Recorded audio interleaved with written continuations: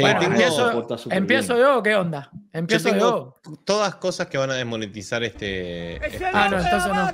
Vía Fidel, Catro, ¿Qué, ¿qué hace? ¿Qué hace? Yo medicina, yo todo. Hoy vine caliente. Hoy un día de perdida ese. Este tipo está en Estados Unidos, boludo. ¿Qué se ha tomado pero, él? Me, pero, me encanta, no sé, parece un coso de Pringle eso, pero a mí lo que me, lo que me hace reír, ¿sabes qué? Es que aclaró que Fidel era. ¿Viste? ¡Viva Fidel! Está Castro. Bueno. Castro. Por las dudas, sí, sí, aclaró, no vaya a ser que esté el Fidel equivocado. Estas son la gente que después cuando los agarran, que, que, ya no están tomados ya. No, no, no, no, yo no. No, no, eso, eso es curta que me da por eso. Pero... fuerte, pero por este tipo está en Miami. Es el hombre de la patria, viva Fidel, Castro, Ru. Un cingado, es un No, es el mejor. Dios médico, Dios medicina, Dios todo. Dios médico, Dios medicina. Dios medicina, Dios todo. Claro, porque Fidel puede dar médicos. Sí, sí, sí. y medicina. Sí, sí, eso, eso es, una onda encima. sí, sí, no, no sé si te van a curar, pero, pero sí te puede dar médicos, eso es verdad. Te puede, te puede, dar médicos, sí, sí, son sus esclavos, te puede dar médicos, claro. Era eh, seguro, como cuando Stalin también daba cosas, es así. Okay. Hoy es un día de perdida, ese es el hombre de la patria. El hombre de la patria. Es el hombre de la patria. Tengo una pregunta. ¿Soy muy malo si yo que este tipo de personas deberían de ser deportadas? Yo, yo, yo preguntaría otra cosa. ¿Soy muy malo si digo que necesitan entropía? No, pero bueno, ok. Pero, para, para, para, para, pero, mi solución es más sencilla. no, la mía es más sencilla. La, tuya requiere dinero para montarlo en un avión, que lo acepten allá. La mía es más sencilla. para Chicos, mí... la voz en off para la intro. Tipito nos dijo que ya, que ya le llegó. Sí, sí. Para, para, para mí, yo, yo, te, yo te voy a ser sincero. Para mí debería ser el vocero de Cuba. ¿Debería qué? Ser el, vocero, de Cuba. Yo iría en la otra dirección. Yo lo vuelvo el vocero oficial de Cuba y le doy una, un ilimitado stock de cerveza. Siempre. Todo el tiempo. Sí, le pongo una cámara y le digo hablar de lo bueno que es Cuba.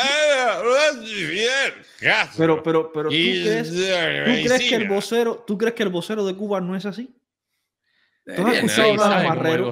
¿Alguien sabe con el vocero de Cuba? ¿Tú has escuchado hablar a Marrero, a, Gil, a, a Canel? No, pero me, parece, son me esto, pero sin la lata. Bueno, pero, pero esto es una, una mejor fotografía. Pero boludo, ese tipo está aquí. A ver, lo, importante de este video. sí. Eh, por cierto, Flix, gracias por esas otras 20 suscripciones, bro. Lo importante es que este hombre vive aquí en Estados Unidos. Y mi opinión es que este tipo de personas, vuelvo y repito, hay demasiada gente viviendo en Estados Unidos que no merece estar en los Estados Unidos. Totalmente no solo en Estados Unidos, bro. En España también hay gente viviendo que no lo merece. Biden. Bueno, en España no sé. Ah, no. Ni, ni, la reina merece. Tengo un video por acá de la reina. Boludo, ni la reina. Kamala Harris. Boludo, Kamala Harris. Sánchez de presidente, boludo. No, pero eh, si ve, tengo un video ahí de la reina que luego se los pondré para que vean lo que ha dicho la reina. Madre mía. Es la reina, boludo. Oscar, quedé con la duda si tú darías pena de muerte a los abusadores. Eso sería una eutanasia, evidentemente no es una eutanasia, ellos no quieren que les quiten la vida.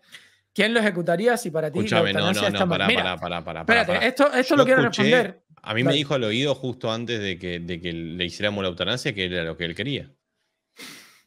Bueno, ¿lo escuchaste? No, pero tiempo, tiempo. Eh, eh, quiero responder esto lo más serio posible porque la gente, pues, y eso que fijé un comentario en respuesta a una pregunta parecida a esta. ¿Ya? Primeramente, una persona que hace eutanasia es una persona que accede a que otra persona le diga que lo tiene que matar. O sea, hay una persona que quiere que lo maten. Lo pide. Directamente. Claro, lo pide. No creo yo que un violín pida eutanasia. Un violín va a pedir niños. Ah, o sea, el, Papa pide niños, no, no pide. No digas eso. El Dalai Lama, a lo mejor. El Dalai Lama. No, boludo. Toda, la, figura. A ver, ¿quedó alguna? ¿Quedó alguna, muchacho? Pero ahora, otra cosa que es importante. Eh, por el tema de la eutanasia. La eutanasia está mal porque hay un tercero a quien se obliga a ser responsable de la muerte de una persona. Ahora, en este caso, en el caso de la pena de muerte como tal, cuando tú heredes ya a otra persona, a un tercero, tú pierdes tu derecho a la vida, a la propiedad, a la libertad. ¿Por qué? Porque tú precisamente cometiste un delito. Y cuando tú cometes un acto de mm, violinización, pues precisamente tú pierdes tus derechos. Y más cuando es a un niño, que es alguien indefenso, está grabado. yo no estoy, no estoy de acuerdo ni en pedo con lo que dijiste. ¿No estás de acuerdo con cuando tú ¿Cómo, ¿Cómo, perdés tu derecho a la vida? ¿Qué es eso? Rarísimo. Sí, sí, yo, yo, creo, yo creo que si, tú, le quitas la vida a alguien, tú pierdes tu, no, no, derecho a la libertad. Si tú, si, no, si tú entras a mi casa, eh, digamos, tú entraste a mi casa por la noche. Sí. Por lo que sea. Pero ahí te defendiste, pero ahí te defendiste. Tiempo, tiempo. Pero perdiste, perdiste tu derecho a la vida. No sé, te perdiste tu derecho a la vida. Sí, claro, me defendí. No lo pondría de esa manera. Pero yo te puedo. No, tiempo, tiempo. pero, yo, te puedo matar a ti, tipito, porque tú perdiste tu derecho a la vida. No, te lo hago al revés. Te hago al revés. Entra el ladrón, sí, según vos, en el momento que entró a tu casa, perdió derecho a su mm. vida.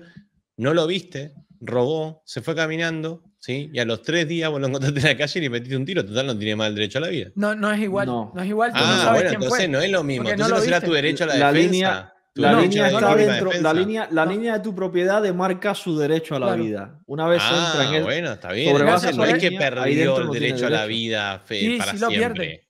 No, si lo en tu propiedad, si vos te sentías amenazado, sí. Claro, sí. Claro, bueno, está bien. Por eso te digo.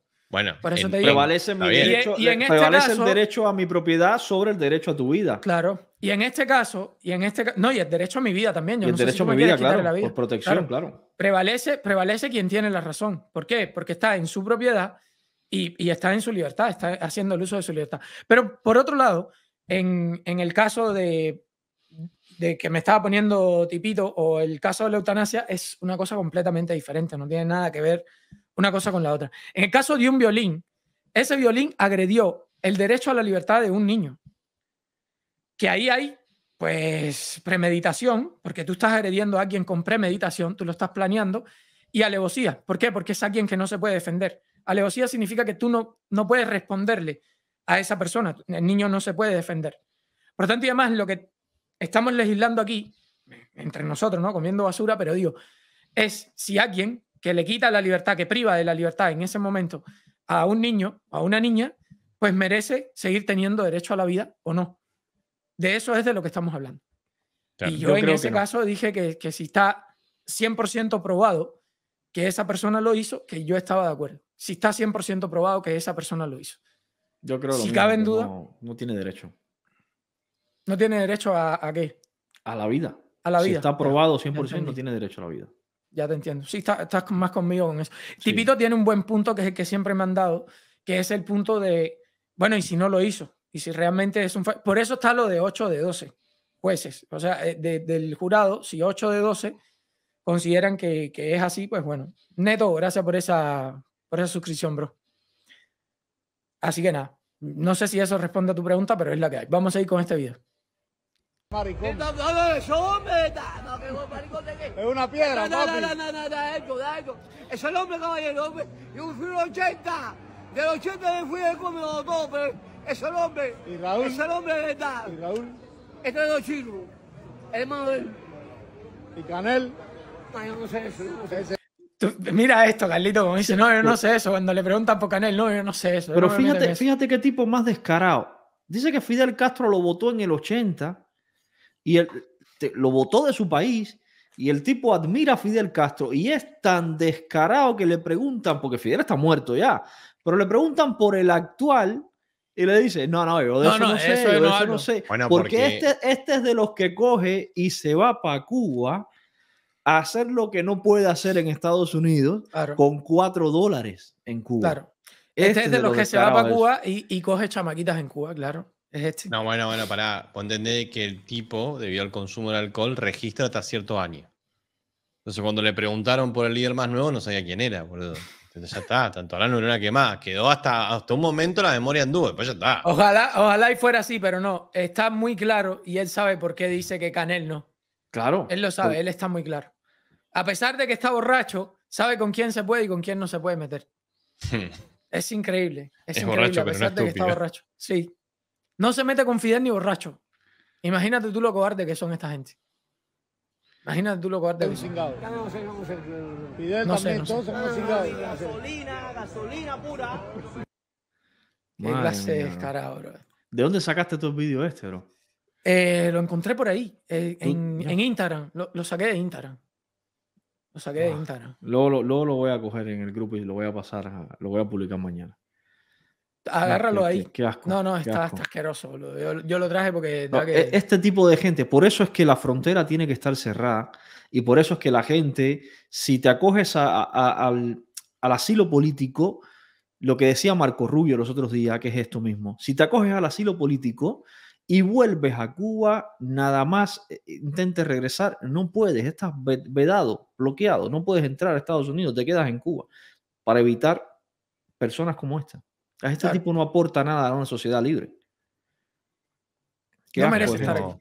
Yo, yo, yo, creo que no merece estar aquí, pero bueno.